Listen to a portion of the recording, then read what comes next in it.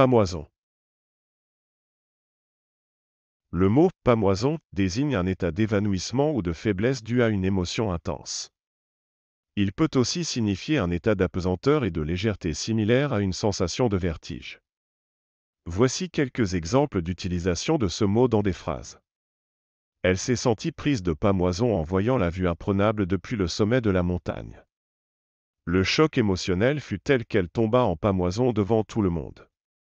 Le couple a éprouvé une sensation de pamoison lors de leur premier baiser passionné. La musique douce et les lumières tamisées ont créé une atmosphère propice à la pamoison chez les convives.